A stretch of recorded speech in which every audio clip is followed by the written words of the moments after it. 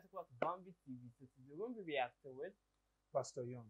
guys. Today we're going to be reacting to the difference between the Bible and the Quran by Ahmed Deedat. Guys, there's some clarification, so I asked for help, guys. Guys, let's get straight into this.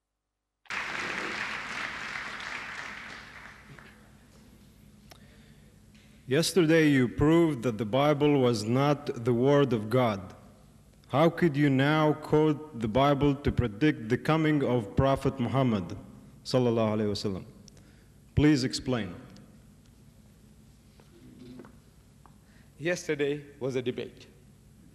A format had been laid out. Originally, it was 50 minutes, 60 minutes, and 10. Both sides had 60 60. But the format was whoever speaks first has 10 minutes at the end, because every advantage has a disadvantage. So both speakers speak 60 minutes each. Now, with that format, you have no time to explain each and every position. So, what is the Bible? So, what do we consider the Bible to be? As a whole, per se, we say this is not the book of God, and I proved it.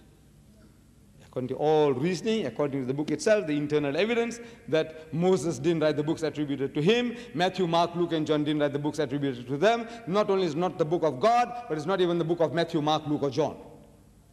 You're talking about 24,000 manuscripts. I challenge you, say there's no two are identical. So you got 24,000 different gospels. Which one? You just pick pick that suited you, you accepted it. Who authorized you? Council of Nicaea. They said, we take this, we take that, we take that. All the gospels that are now accepted were not accepted at one time. It's now pick and choose what suits you, you accept it. That's what you have done. And you say now it's the word of God. But now the word of God is in it, in the book. The word of God is in the book. The word of the prophet is in the book. The word of the historian is in the book. And pornography is in the book. Now I have to explain all that to you. I said, You see, I give you examples about the word of God. Like in the book of Deuteronomy. You see the verse I quoted in Arabic, the same thing is in the Bible. Almost an identical idea is there.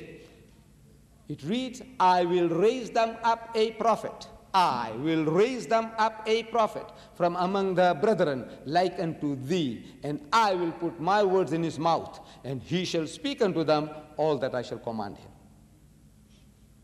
So, who is this I? God. He's speaking to Hazrat Musa alayhi salam, that I will raise them up a prophet from among their brethren, from among the Bani Ismail. The Bani Israel are being addressed is that from among your brethren, like unto thee, like you, like Musa. And he will, and I will put my words in his mouth, and he shall speak unto them all that I shall command him. So it says, This I is God. You don't have to be a theologian or a DD or an evangelist. Anybody will tell you on the plain reading of it that these are not the words of Moses, these are the words of God. Another quotation from the book of Isaiah, as if God is speaking, and God is speaking. He said, Remember the former things of old. For I am God and there is none else. I am God and there is none like me. Who's that? Isaiah? No. Jew says that Isaiah claimed divinity. They would have killed him if he did. No, he's speaking on behalf of God. God is speaking through him like a mouthpiece. This is the job of a prophet of God. He is a mouthpiece of God. He hears the words of God and he conveys them to you. So, I, I am God and there is none else. I am God and there is no Savior besides me. Who? God. God is talking. This is the word of God. You don't have to be a professor of theology to see that. There is another type of evidence in the Bible. See, now, if it was a lecture, I would have been, done all this last night, but this is a debate. So, whatever the man is throwing at you, you can't start grappling with everything. The caravan is moving and the dogs start barking. You don't start the caravan moving back to chase the dogs. You got to move on. You got to do your job and get, get on with it and finish your job. There was no occasion for explaining all these things to you. You see? Then there is the word of the prophet of God. Example, Jesus says, it has been said by them of old time, Thou shalt not commit adultery. But I say unto you, that whosoever looketh upon a woman to lust after her had committed adultery with her already in his heart. Who is this? I, Jesus. Jesus is talking, the word of a prophet of God. Again, Jesus says, It has been said by them of old time that whosoever puts away his wife, let him give her a bill of divorcement. But I say unto you, who this I? Jesus.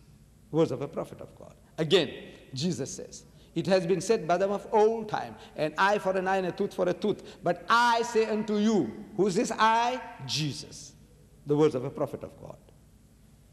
Then there is another type of evidence in the Bible. First was as if God speaking. Second was as if a prophet was speaking. Third, what does the historian, how does he speak?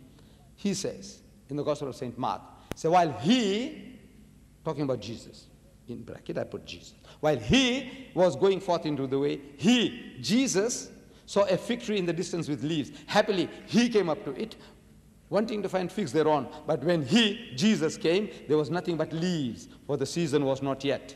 Who's writing? An eyewitness or a witness, not God and not Jesus. So, you see, another type of evidence. Word of God, word of the prophet, word of the historian. And there was that other type of thing I was suggesting, and I lost $100. You remember if you were there? I lost $100. I wanted Brother Swaggart, you know, to read a certain chapter from the book, from the Bible. And he ignored it at first, maybe he had no time, and somebody from the audience prodded him again. He says, You know, look, what about that chapter Ezekiel? And there was $100 also involved, so he read it. But he read it at 60, 60 miles an hour.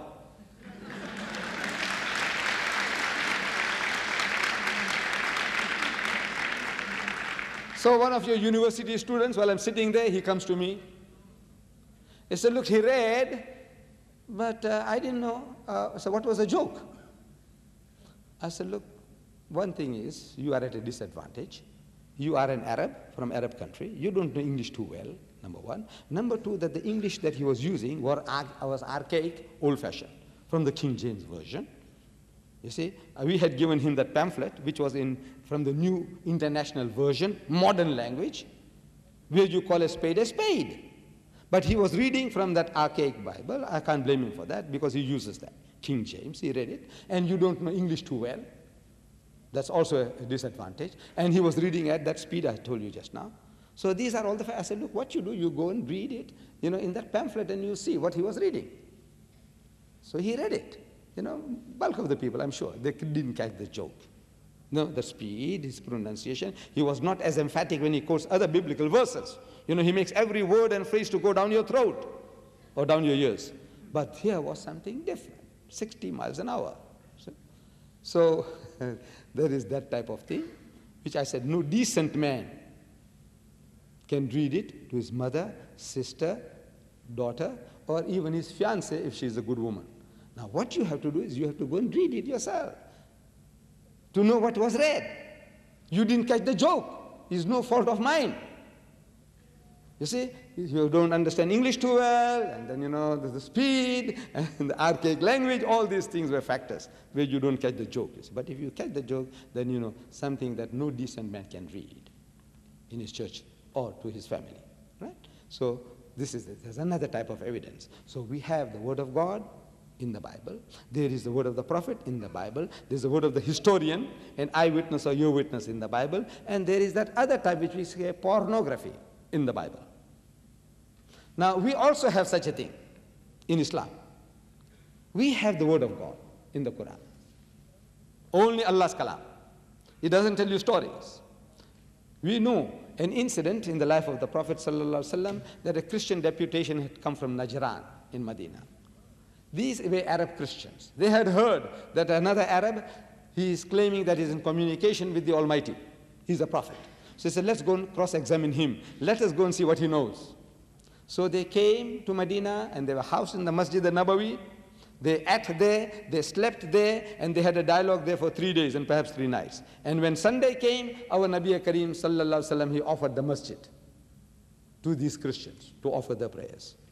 He was so broad-minded, not like us. See, some of us, we are, you know, we think our masjids are superior to the Masjid al-Nabawi that our Nabi had. No doubt, in construction, yes. He allowed them, gave them permission to make their prayers. So during the course of this discussion, the spokesman for the Christian poses the question, among so many other things. Say, all right, now tell us, O Muhammad, what is your concept of God? And our Nabi Kareem sallallahu alaihi he doesn't fumble. You know, well, you see, it's like this and like that.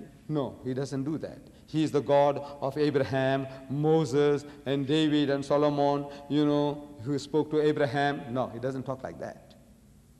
See, when the question is posed, what is your concept of God?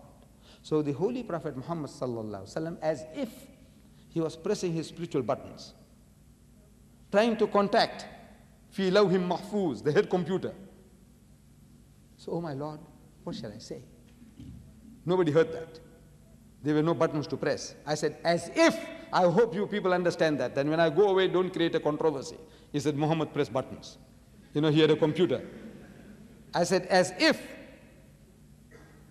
oh my Lord, what shall I say? Comes the answer through him. Qul, say, Huwa Allahu Ahad. He is Allah, the one and only. Allahu Samad, God the eternal absolute. Lam yalid wa lam yulad. He does not beget and is not begotten. Wa lam yakun lahu kufuwan ahad. And there's nothing like unto him. Full stop. And you see, this is our concept of God. Now you see, it's on a different level.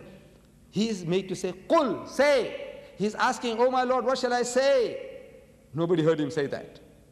But comes the answer, say. It doesn't fit into normal speech. They are asking, What is your concept of God? So you don't tell him, say. Somebody asks you, What is 12 times 12? What do you say? 144. Am I right?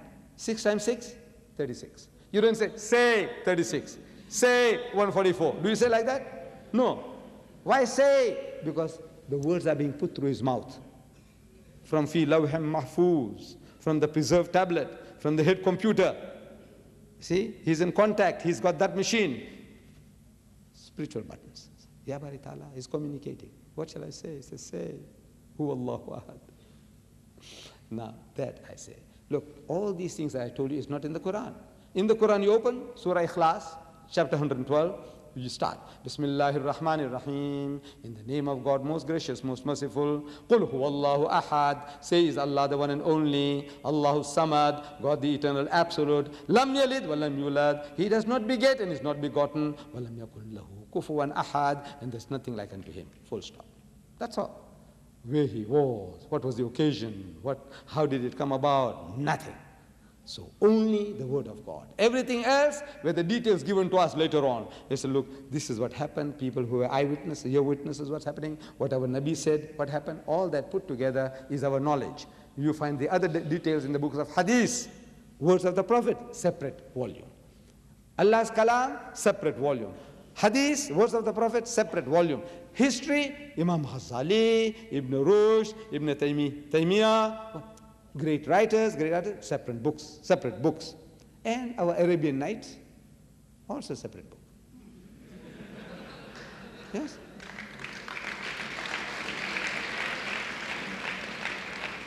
You know the Arabian Nights, you know, fairy tales, those filthy, dirty stories were circulating around the campfire. You know, the Arabs also had something to pass time with.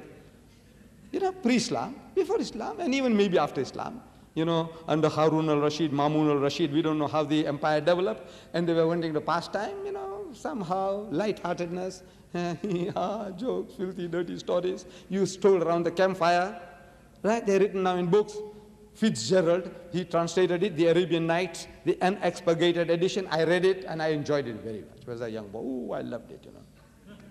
the unexpurgated editions. But it's separate. It's not in the Quran, it's not in the works of sayings of the Prophet, it's not in the works of a historian, separate book.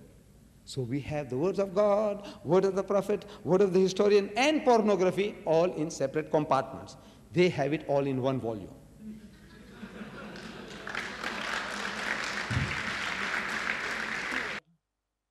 I will say, like, what do you think of this? Well, you know, many from this religion, they have a lot of misconception about Christendom. They have said a lot, a lot of things. One thing we should understand, there's a dealing of the spirit, there's a dealing of religion and there's a dealing with life. He claimed the Bible is not the word of God. I I want to speak to adults in mind, not really children. Adults. So you should be able to bear this if you uh you have read the scriptures, or maybe probably you have also read some some things about the um, Quran, and you are eager to know the truth. The word Bible is not a spiritual word. It is not a word that came from heaven, or even the word itself, Bible, is not mentioned in the, in the Bible. So it's just an English word gotten from uh, uh, uh, uh, uh, a Latin word called Bible. Are you getting it? So it means a combination of other little books. Before now, it was called little books. Before English changed it to the word Bible. So the word Bible does not mean the word of God. It is the scripture that is the word of God. What is the scripture? The scripture is the written ways. The Bible is combination of little books. What are the little books we have in the, uh, in, uh, in the Bible there? Matthew, Mark, Luke, and John. Those are the scriptures. Now, in that same scripture, we have the logos and we have the rhema. The logos is those letters that you can read. But the rhema is the spirit, the action behind that word. Most of us, we just we, we read this the, the, the, the scripture or the Bible as we, we say. We read the Bible, but we don't get the proper understanding. Why? Because we are not getting the rhema. When you read the word, you are expected to understand the rhema behind it, not just the logos. Because First Corinthians said the logos kill it. So you can read this Bible and, and, and harm yourself. Yeah. He said, but the rhema, the spirit behind it, give it what? Life. Who is that rhema? That rhema is God Himself. That is Jesus Himself. He said, I have come to give you life and have it more abundantly, according to John 10, verse 10. Now, he's talking about what Moses said in Deuteronomy. Yes, you're very right. God told Moses, He said, I will send a prophet among you that will do this and do that. Yes. But another part you should understand Jesus came as a prophet. He is the word of God. He is the first apostle. He is the bread of life. He is the faithful witness. So there are different dimensions he came to accomplish. He just picked one of it as a prophet. In Luke chapter 1, when Jesus prophesied about um, Nathanael when he was guarding his apostles, he told uh, when the Philip met Nathanael, he said, We have met the Messiah that was prophesied in Isaiah. Nathanael, uh, uh, Nathanael said, Can any good thing come from Nazareth? He told him, Philip told him, Come and see. So when he met Jesus, Jesus uh, immediately he met Jesus, Jesus told him, Oh, what a good Nazarene. A man without guilt, without fault. And like, Wow, this should be the Messiah. Then he said, I saw you under a fig tree. That was the prophecy. Yeah. Then Nathanael was like, How? How did you see me? Then he said, Oh, for you to believe this, I said this about you, you will see greater things. Now, Nathanael has confirmed he is a prophet. Yeah. Even Peter, after Jesus died and resurrected, Peter in Acts chapter 3, when he, uh, Acts chapter 2, when he was talking to the uh, congregants and the the word, let me use the word, the word, the people that um, uh, the apostles we are seeing now, they are not drunk. Yeah. So he was telling them, the Jesus that you people crucified, who was a prophet, indeed and a miracle among you, brought this his spirit to us. That what you are seeing now is the manifestation of his spirit. So Peter Yeah. himself also testified that he was a prophet. Now John was a man sent from God. John chapter 1. He said, I am not the Messiah. He said, but I am sent to prepare the way of the Messiah. So he came to prepare the way for the light, not for the prophet. Yeah. You see the different parts. For the light, not for the prophet. He said, The light cometh. He said, Darkness could not comprehend it. Yeah. So Jesus had different dimensions he came to fulfill on earth. He said, I am I, I am sent to uh to fulfill the law, not to destroy the law. Yeah. There's another place Jesus said, He said, I have come to set the father against the son, the mother against the daughter, the daughter in law against the mother in law. Now, if you read 1 part of it, you'll say like, ah, Jesus came for violence. No. He's telling you there are different activities he's doing. Just the same way you are human. Yeah. Your flesh desire physical things. But your spirit have a different desire. Yeah. So you will not say because your flesh desire physical things, well, the desire of your of your of your spirit is, is you you nullify it. No, there are different things you need to do. Just the same way you don't have one body. Yeah. Other people believe no, what, no. What is he saying? We all have one flesh. When you dream, what do you see? Is it this your body that you see in different countries? No, there are different bodies, so there are different dimensions. They just pick one aspect of you to say, oh, this is what he's coming to do. He also forgot that in the same Isaiah chapter 9, verse 6, there's something God said about Jesus.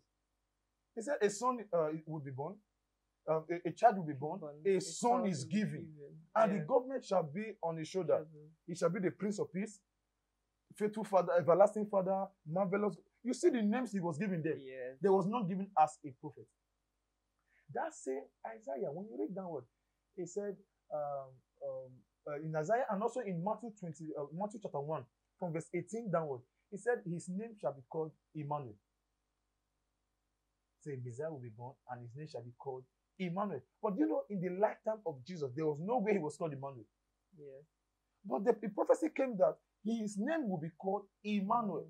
What's the meaning of Emmanuel? God with God. us. That is another dimension. But he was never called Emmanuel. Meaning that aspect of Emmanuel was he's, he's coming to be a God among his people, Yeah. not a prophet now. So when you are dealing with the Bible, you must always blend the Old Testament and the New Testament because the New, Test- the New Testament is the same word as the New Covenant. It's Yeah. the fulfillment of the law. Yeah. The law is the shadow of what is to happen. Moses was in the in, in, the in the shadow of what should happen. That's why Jesus said, even Abraham desired, the prophet desired to see my days. He said, but Abraham saw it and it was glad. Yeah. But others didn't see it. So we are fulfilling the law, amending the law. Are you getting? So when you are coming with statement of uh, there is not the word of God, you should know what you're talking about. In Christendom, there's one thing we believe. We don't believe in theories. We don't believe in to read more books. And people who said it, he said they, they, they, they, I didn't come to you with, with men's wisdom. That's first, Cor- uh, first Corinthians chapter 2, verse 4. He said, But I came with a demonstration of power and the Spirit of God. Yeah. So when you have the Spirit of God, all these little, little arguments, you put them to an end. If Jesus be, be, uh, be God, tell this thing to be. Christendom is power, not talking about this, this bringing theory, bringing, bringing history. Now, he made another statement that uh, in, in in the Bible, the words of God, the words of prophets, and the words of uh, of, of Paul, they, they they made them into one volume. Forgetting that the prophets were not speaking on their own, they were speaking according to the influence of the Holy Ghost in them. Yeah. For example, can I separate the spirit from you? Nope. When you speak, is it not both you and your spirit that speaks? So you should learn how to blend things together. Okay, just for example, yesterday I told you uh, I'm coming to visit you.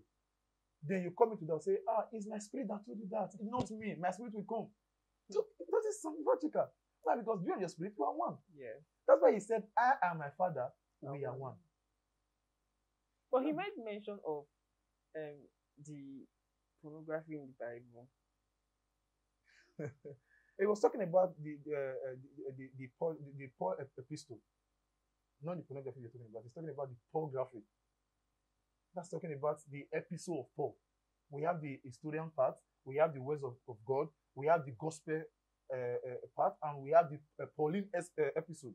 That's what he was talking about. That Pauline episode was talking about the words of Paul, the the the uh, the, the, the, the, the, the, the, the books Paul wrote to the church in Corinthians, in Rome, in Galatians, in Thessalonica. Those are what he was talking about.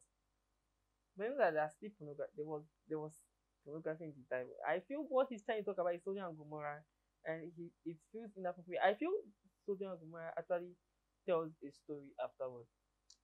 Sodom and Gomorrah is uh, a nation that was not with God, that was not doing the biddings of God. They were just humans on earth.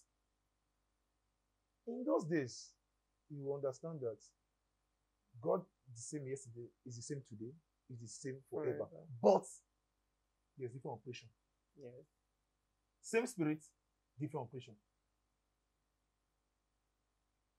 In uh, in the Old Testament, God spoke.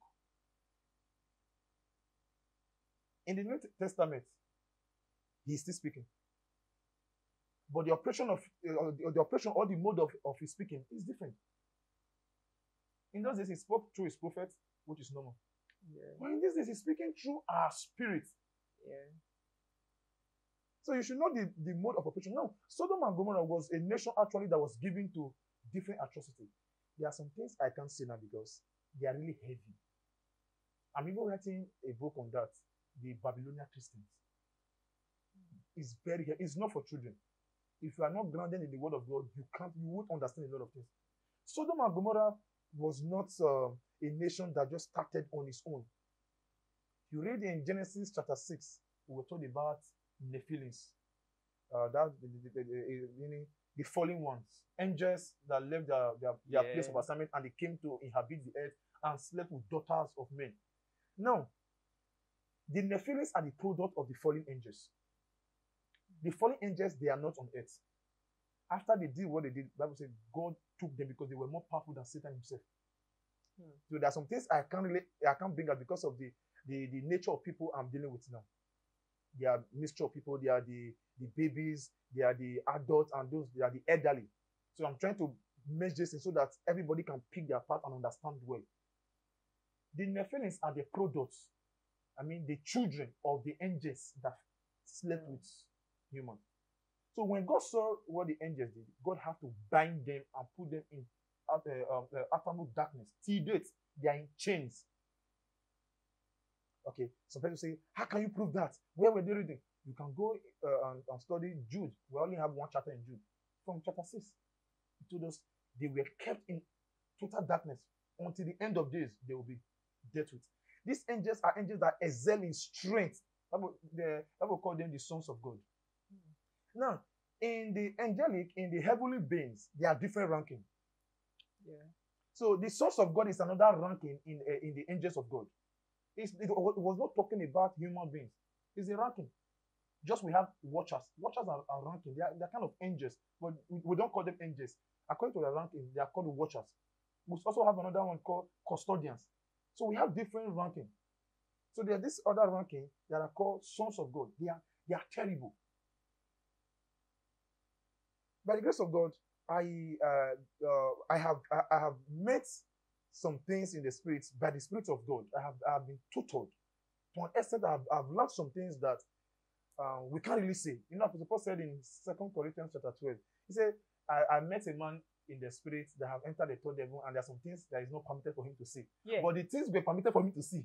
wait, wait, wait, wait, wait, wait, wait. You made mention of the third heaven. Yeah. Wait, are you trying to tell me that there are actually seven heavens? I don't want to go too deep, but there are different heavens. Damn. There I- up to seven heavens, actually. Let me go straight. Yes. We're gonna make a video after this, and it's actually talking about the seven heavens. So Yeah. we'll continue there, guys. Make sure to like, share, subscribe to our channel. Tell us what you feel about this video, guys. See you next time, guys. This.